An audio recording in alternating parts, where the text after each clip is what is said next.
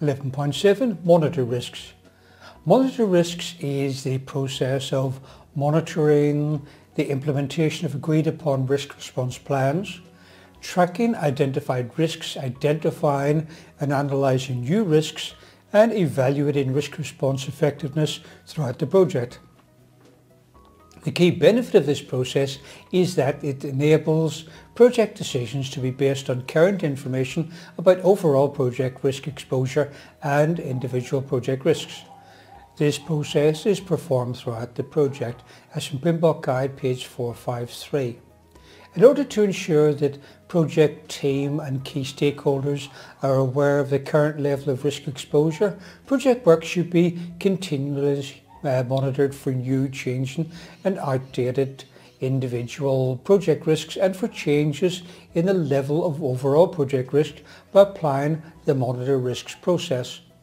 The monitor risks process uses performance information generated during project execution to determine if implemented risk responses are effective, level of overall project risk has changed, status of identified individual project risks has changed, new individual project risks have arisen, risk management approach is still appropriate, project assumptions are still valid, risk management policies and procedures are being followed, contingency reserves for cost or schedule require modification and project strategy is still valid.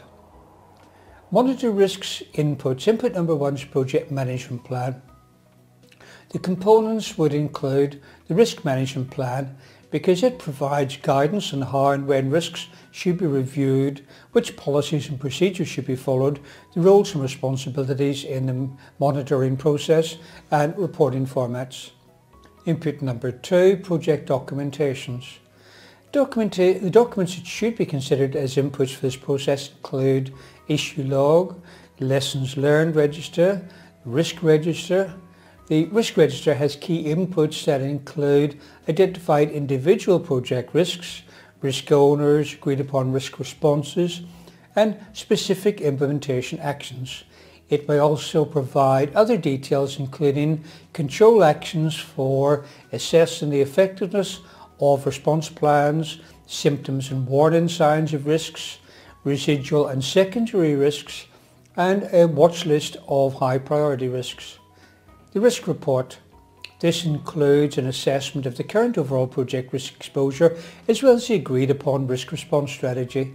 It also describes the major individual risks with planned responses and key owners. Work performance data. This contains information on project status such as risk responses that have been implemented, risks that have occurred, risks that are still active and those which have been closed out. Input number four, work performance reports. These provide information from performance measurements that can be analysed to provide project work performance information including variance analysis, earned value data and forecasting data. This information could be relevant when monitoring performance related risks. Monitor risks, tools and techniques. Tools and techniques number one is data analysis. This would include technical performance analysis. A technical performance analysis compares technical accomplishments during the project execution to the schedule of technical achievement. It requires the definition of objective quantifiable measures of technical performance which can be used to compare actual results against targets. Such technical performance measures may include weight, transaction times, number of delivered defects, storage capacity and so on. Deviation can indicate the potential impacts of threats and opportunities. Reserve analysis. PMBOK Guide says that throughout the execution of the project, some individual project risks may occur with positive or negative impacts on budget or schedule contingency reserves. Please note the wording is confusing in this sentence. It says positive or negative impacts on budget or schedule contingency reserves. This does not mean that they will have an impact on the budget. What it really means is it may have a positive or negative impact on the budget contingency reserve or on the schedule contingency reserve. Okay, but what does that actually mean? It means that if the risks which occur are threats, then they may have a negative impact on budget contingency reserve or schedule contingency reserve. For example, there's a risk that electric motor may burn out because it has been used beyond its design limits. This could cause a drawdown on budget reserves to pay for repairs, replacement or upgrade, plus a drawdown on schedule contingency reserves for the time taken to get it back into service. But if the risk was an opportunity, for example, using a new computer application is forecast to save money and time in the project, then these savings can be added to the project contingency reserve and schedule contingency reserve. Reserve analysis compares the amount of the contingency reserves remaining to the amount of risk remaining at any time in the project in order to determine if the remaining reserve is adequate.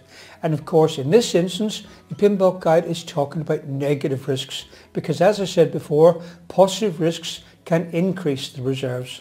The impact on the reserves can be communicated using various graphical representations such as a burn down chart. And techniques number two is audits.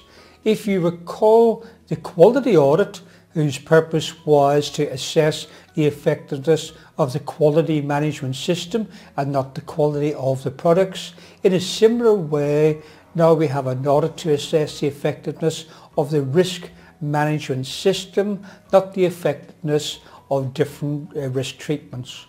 The project manager is responsible for ensuring that risk audits are performed at a regular frequency. The audit may be performed by team members, but personally I would recommend that the risk audit be carried out by people who are external to the team. And may be undertaken by the project management office and this avoids a possibility or the appearance of bias or conflict of interest or something like that. The frequency of the risk audit is defined in a project's risk management plan. However, if it becomes clear that there may be problems with the risk management system, an audit may be called out of session at any time. Risk audits may be included during routine project review meetings or may form part of a risk review meeting or the team may choose to hold separate risk audit meetings. The format of the risk audit and its objectives should be clearly defined before the audit is conducted. Tools and techniques number three, meetings. Meetings that can be used during this process include risk reviews. Risk reviews are scheduled regularly and should examine and document the effectiveness of risk responses in dealing with overall project risk and with identified individual project risks.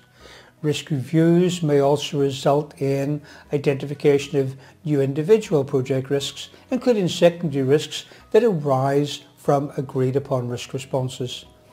Reassessment of current risks, the closing of risks that have been outdated, issues that have arisen as a result of risks that have occurred, and identifications of the lessons to be learned for implement, implementation in ongoing phases in the current project or in similar projects in the future.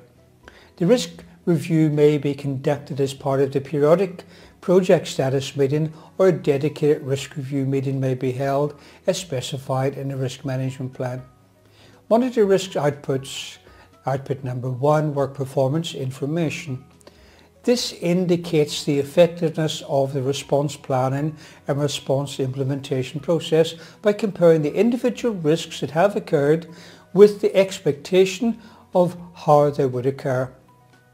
For example, there is a risk that a motor might overheat and shut down on occasion, thereby stopping a critical process until the motor cools down.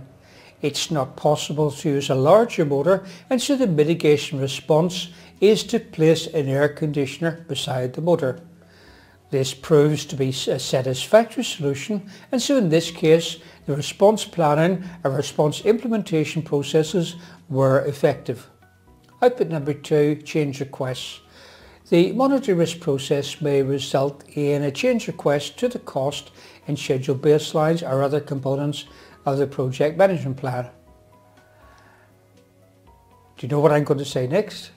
Change requests are processed for review and action through the performed integrated change control process. Change requests can include recommended corrective and prevent, preventive actions to address the current level of overall project risk or to address individual project risks. Output number three, project management plan updates. As risk can happen anywhere at any time, any component of the risk management plan may be affected. Any change to the project management plan goes through the organization's change control process via a change request. Update number four, project document updates. These would include the assumptions log, because during the monitor risk process, new assumptions may be made, new constraints may be identified, and existing assumptions or constraints may be revisited and changed.